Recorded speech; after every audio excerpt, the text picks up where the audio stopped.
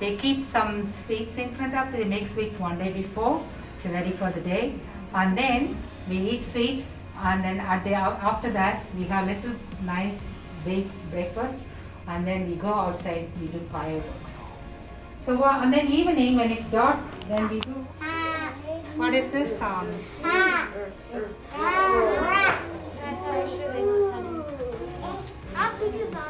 Happy Diwali. Happy Diwali. So I'm going to draw this. Right. Now I'm going to do this four sides. One this side, this side, this side, this side. Four sides like a flower designs. So I'm going to do that side. I'll do the white first and then I'll do color it.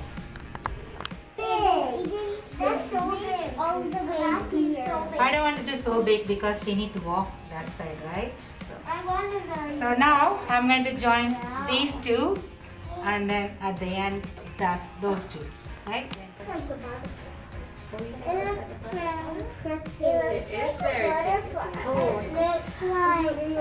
Do you see how Miss P is filling in the white Now I'm doing this white with the inside. So I'm releasing the sand within my fingers, little, little. How many pieces? I like that one. I like it. I'm going to do this one also the same color. I.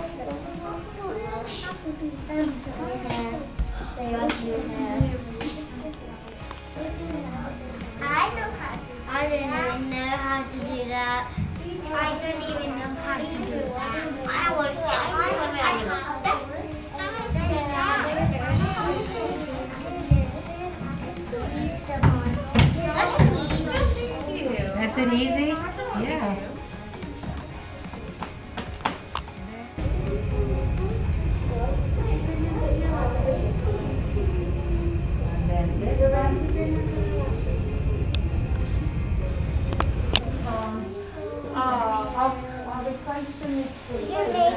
Mess on the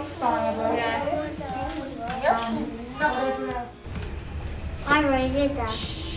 To shout out what the people are still thinking. Well done everyone, you guys did a good job too. You listen very well. One important thing is you helped me how to write Happy Diwali. Well done. Well You done, did a good guys. So we're near the Rangoli pattern.